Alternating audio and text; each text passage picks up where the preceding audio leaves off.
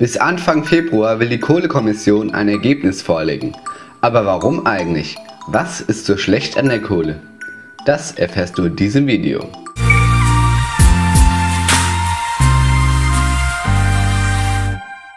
Die Räumung des Hambacher Forstes hat die Kohlestoppenbewegung wachsen lassen.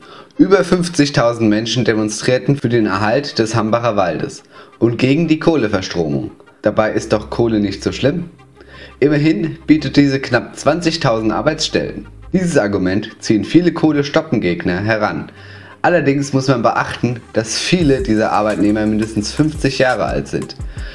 Bis der Kohleausstieg also endgültig abgeschlossen ist, können diese Menschen in Rente gehen und somit fallen dadurch weitaus weniger Arbeitsplätze weg. Braunkohle ist aber auch ein sehr umweltschädlicher Energieträger. Kein anderer Brennstoff verursacht so viel CO2. Zudem kommt noch, dass der dreckige Rohstoff auch erstmal aus der Erde geholt werden muss. Dabei zerstören riesige Schaufelbagger weiträumig die Landschaft und Natur.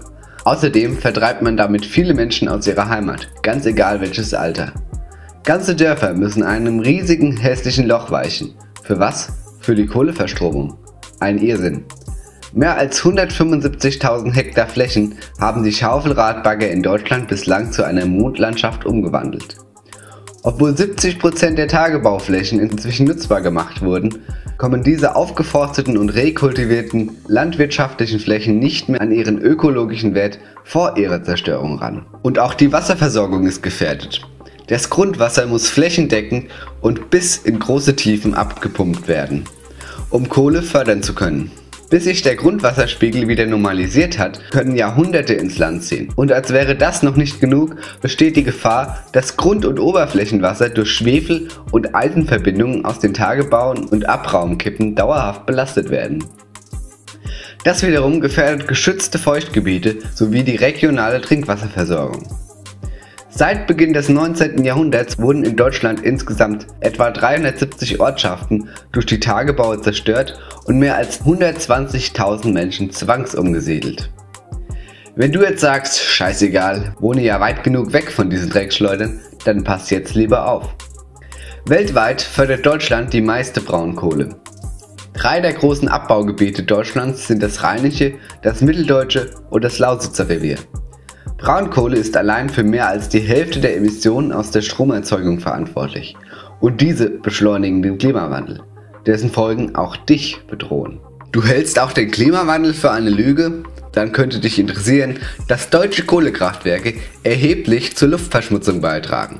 Luft, die wir und auch du einatmen. Ruß- und Staubpartikel sowie Feinstaub werden frei und belasten unsere Luft. Durch diese Verschmutzung steigt für uns das Risiko für Atemwegs- und Herz-Kreislauf-Erkrankungen. Laut einer Studie der Organisation HEAL führen die Emissionen aus Kohlekraftwerken in Deutschland zu 600.000 verlorenen Arbeitstagen und 2.600 vorzeitigen Todesfällen pro Jahr. Aber auch unser Trinkwasser wird mit gefährlichen chemischen Verbindungen wie Quecksilber, Arsen, Blei oder Kalium belastet.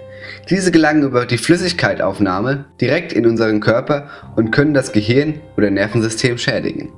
Aus diesen Gründen müssen wir die Kohlekraftwerke abschaffen und auf erneuerbare Energien umsteigen. Denn was außerdem oft vergessen wird, ist, dass die Kohle in unserem Boden endlich ist. Wenn du also nichts mehr von mir verpassen möchtest, dann abonniere mich. Ich werde hier auch weiterhin für den Kohleausstieg und den Erhalt unserer Welt kämpfen. Keep Green, dein Green World Facts TV.